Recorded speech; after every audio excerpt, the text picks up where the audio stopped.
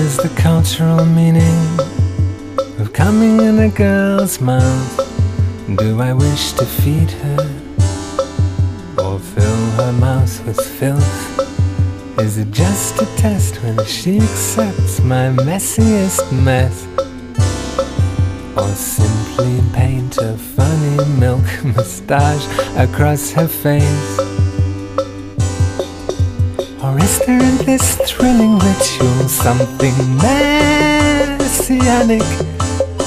Some sort of baptism by sperm? Like my cock is John the Baptist saying, One day someone greater than me shall come. Or some Moses who leads an entire nation across her tongue to liberation. That must be it. Why else for a girl's mouth, saltily full, with a fluid the consistency of honey,